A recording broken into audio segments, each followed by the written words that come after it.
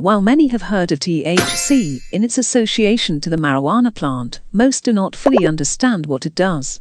THC is the active chemical compound in cannabis, called cannabinoids. Of these cannabinoids, tetrahydrocannabinol or THC is the most abundant.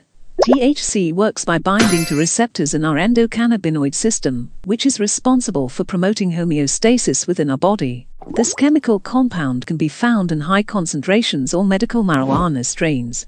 THC is psychoactive and creates feelings of elation, relaxation, and euphoria. THC was first discovered in 1964 when it was isolated by Dr. Raphael McCollum.